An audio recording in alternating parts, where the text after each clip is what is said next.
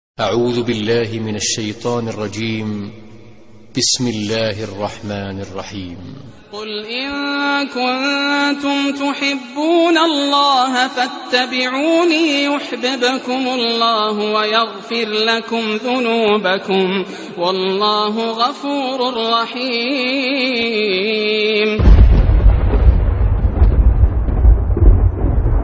نو خبره مې دې پوری کوله چې د رسول صلی الله علیه وسلم په سنتو کې چې انسان لګیږي او داغه په حدیثونو کې لګیږي نو دغه یو جدا خوني او سمي خوږی خوږی خبرې انسان وي چې ټول عمر وته نه سودا خبرې مې اورېدې په دین کې څومره خکوري خبرې پرتی او د حدیثونو کې او زار شو موږ قربان شو د رسول الله صلی الله علیه وسلم خوږو خبرو په دې خبرو باندې هغه سړی پويږي چې هغه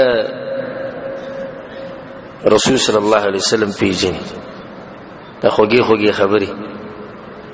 نن مې د یو مولا تقریر واورېدو د یو دیوبندي مولا او زما د خپونه د ځمکه وتښتېده وی په حدیثونو پسې چې ولګي نه دماغ به خراب شي وي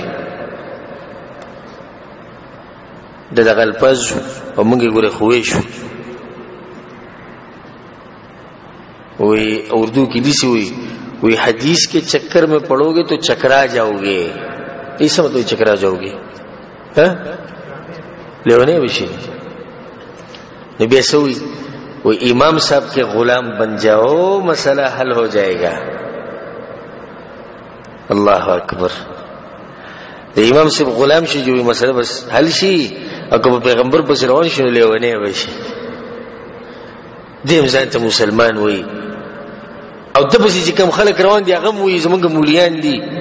تفتی په دې مولا باندې او زما د الفاظ کې سخی نه د دې هغه انسان د پر سختی کم چې په مدینه کې پروت دی محمد ابن عبد الله صلی الله علیه وسلم لپاره دا غیرت دی د زه سره مولا حسابو منه دې ځان ته سې مولا وي سې مسلمان ځان ته وي مولا خلا پرې سې مسلمان ځان ته وي حدیث پسې چې روان شي دماغ به خراب شي زموږ خو دماغ خراب نه شي زموږ خو دماغ تیزیږي الحمدلله اسوره خوږې خوږې خبرې تاسو اورئ کومه پکې د لیونتوب خبره تاسو اورئ تاسو دې کې د قمقلانو خبرې اورئ دا خو د هغه انسان خبرې دي چې ورځ نه جبر یې سره وېسته او صحابي ته ویل کلی کا د دې جبر وي حق وزي بل څه نه وزي وي دی وی د خبرو په روان شو د امام صاحب غلام شو ولې زری امام صاحب غلام کېږم امام صاحب چې کوم جن علم اغسته دی نو کبه د بسیزم زله ونه کېږم او په خپل سوی و امام صاحب خو د قران او حدیث تشریح کړي دي سوی کنه وي نو بیا خو امام صاحب هم لیونه ځکه چې په حدیثونو بزی تلو دا خبره دی مولا وکړه او زه د په الله قسم خورم چې باغ ټیم چې زما کوم حالات چې دا منافق ماته مخامخ وي چې د سره مې شو خبرې کړې او چې دا خبرو کړه هغه وي په حدیثونو پسې چې روان شي نو دماغ به خراب شي خلکو لاندې نو سبحان الله سبحان الله الله بندگانو دا کوم جهالت کې موږ پراته یو تقلید کته او تقلید بره او امام سیب کته امام سیب بره او امام اعظم محمد صلی الله علیه وسلم هغه بارګی سره یو هغه چې دماغ به خراب شي به یو قصه وکړه و یو ورځ بجاز کې کېناستم نو شیطان را سره کېناستو نه خلک په خندا شونه شیطان نه مراد څوک دی ها د رسول صلی الله علیه وسلم حدیثو به چې روان دي ادي جو دلې ونی وي زمونږ د اهل حدیث سلفیان د ازمری دي د رسول صلی الله علیه وسلم صحیح مانو باندې امتیان دي او که د رسول الله په حدیثو باندې موږ لیونی کیږو نو الله دې موږ زر پیری لیونی کی دغه لیونتوب زموږ خو وخت سره خو وخت دغه لیونتوب کنه زموږ خو دغه لیونتوب خو وخت اولی زه د امتی غلامی کوم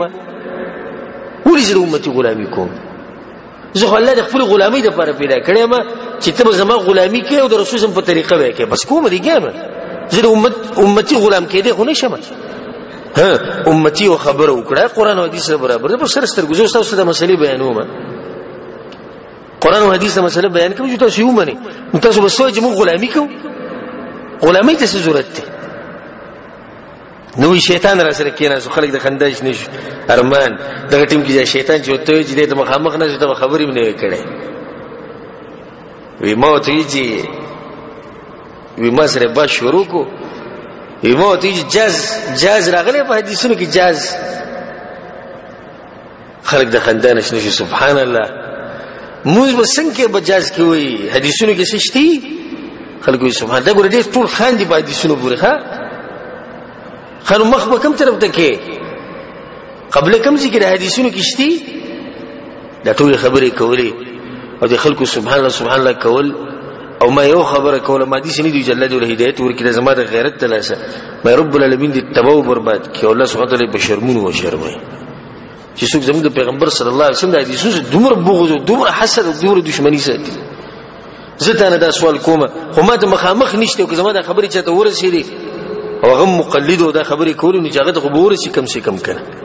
زه دا سوال کوم د امام سي په وخت کې جازو ها نو ته ما د امام سي غلام کېنه دا په وخت کې کوم جاز نشته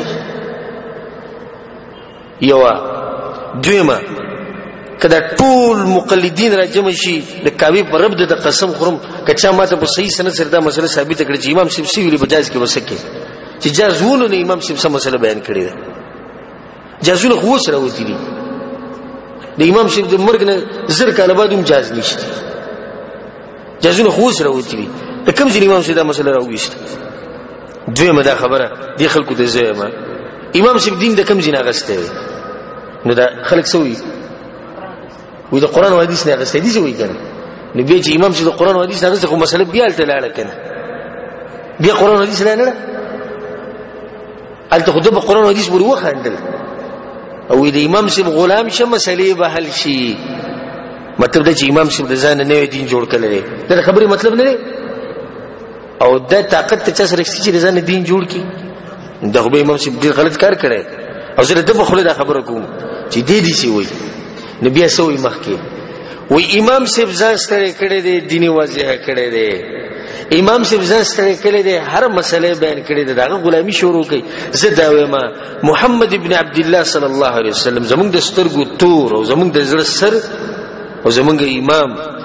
او زمونږ مال او بچی هر څه بابا قربان دي ځان سره کړي دین واضح کړي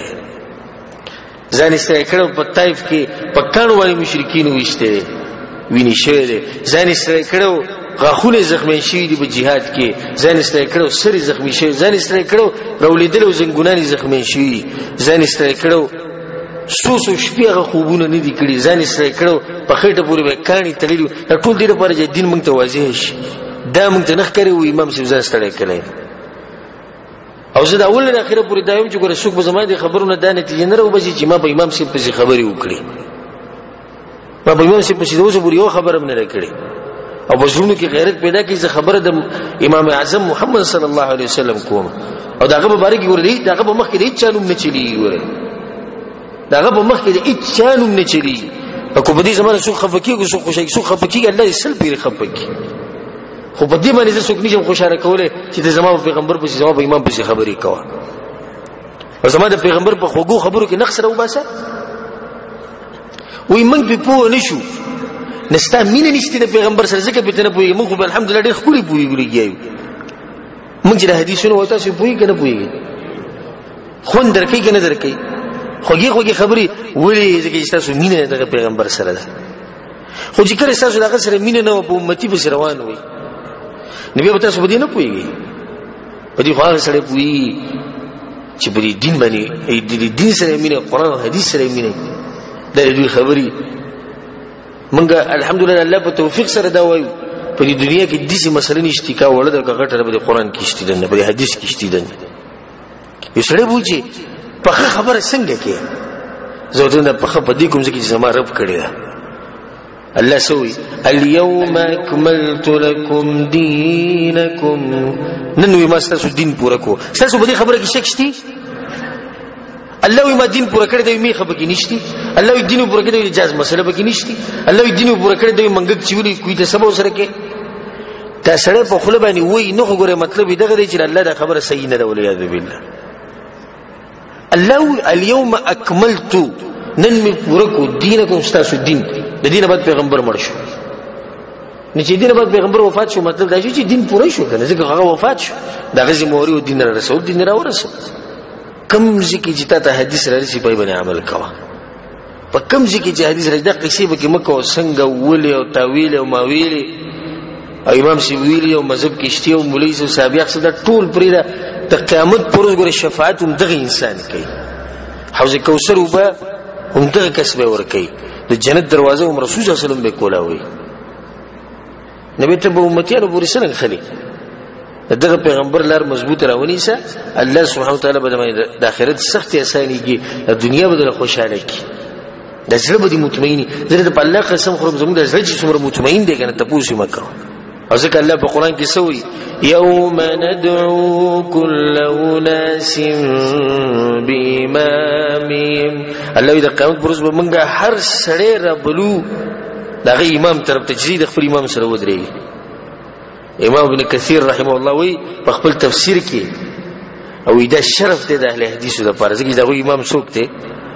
رسول الله صلی الله علیه وسلم الله وی د پوښتنې کې تاسو امام کوم دی چې چاته ولاړی او چې الله ستاسو پیغمبر دی هغه سره ودرې ځکه هغه ټولګي کې ودرې اته زه خو امام سي په روانو منو جون مټول هغه لپاره تر زه هغه سودري زه امام شافعي زه امام مالک او زه صابیا او زه پلانې او زه علانې زه ودرېږه وسره کوم دغه شان د موحدینو د رسول صلی تابعداري مبارک او د توحید مبارک وره حدیث کې راځي رسول صلی الله علیه وسلم وی د قیامت پر ورځ باندې دا خبرو کې یا د आवाज به وشي چې هر قوم دی هغه چا په ځړ چې چا بندگی چې کوله نصارا په صلیب په روان شي يهوديان به خپل چې کوم غوسه کول بوتان بوتان ولا بوتانو په روان شي مشرکین په قبرونو په روان شي باباګانو په روان شي د موحدین به ولاړ مسلمانان د دې ته وولې چې تاسو څه کوئ موږ خپل رب ته په انتظار کې موږ دغه بندگی کوله موږ غته ولاړ یو الله اکبر رب ته ولاړ یو امام سوق دی رسول الله صلی دا قوم به کامیابیږي نه دی په دغه سختو کې نه کامیابیږي لکه څنګه چې عیسی علی السلام ته الله وی انت قلت للناس عیسی ته خلکو ته ویلو چې زمو زمو د مور بندگی کوي ابو جی الله غمانه دی ویل ما کله ویلي مخدود نه ویلي چې ما زما د سي د غلو په ما کې وکړي چې زمانه مال دی اولوهیت یا د ربوبیت درجه راکې په دې خلکو بس حالي به دغه نصارو کم چې اوس عیسی علی السلام بندگی کوي چې کله عیسی علی السلام د مخکې دا خبره وکړي او چې کله د قیامت ورځ امام صاحب راوسی چې امام صاحب ته وایي چې انت قلت للناس تا دې خلکو ته ویلو چې زما مذهب مضبوط راونی چې قران او حدیث ته خلاف وي قران او حدیث پرې دی امام صاحب چې ما خو نه دی ویلي ما غل خپل ازادي کړو ما خو ویلو چې اذا صح الحديث فهو مذهبي چې کوم چې کتاب سره صحیح حدیث ویلو چې دا زما مذهب دی نه دا بخړ پړنی ولر دا کوم چې اوس څنګه وی چې د امام صاحب مذهب نه وړي دا حرام دی د دیو به په دغه ټیم کې سهاري د زمته واستو